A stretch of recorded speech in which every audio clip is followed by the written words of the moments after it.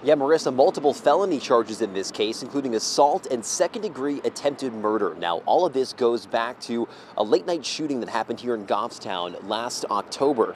Investigators say this man, DeAndre Anglade, shot and seriously injured a man inside an apartment on Mast Road. According to court paperwork in this case, the shooting was the result of an alleged drug debt between the victim and the suspect. The U.S. Marshals putting out a $5,000 reward for any information on the 20 year old while he was on the run, not just for this alleged shooting, but also for his failure to appear in court in another shooting case out of Manchester from back in 2019. The investigation spanning months with investigators believing he may have fled to either Florida or his home state of Texas. He was found and arrested in a trailer park earlier this year in Red Springs, North Carolina. He's now being held without bail and waived his arraignment earlier today.